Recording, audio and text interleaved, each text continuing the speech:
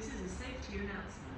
Due to today's wet weather, please take extra care whilst on the station. Surfaces may be slippery.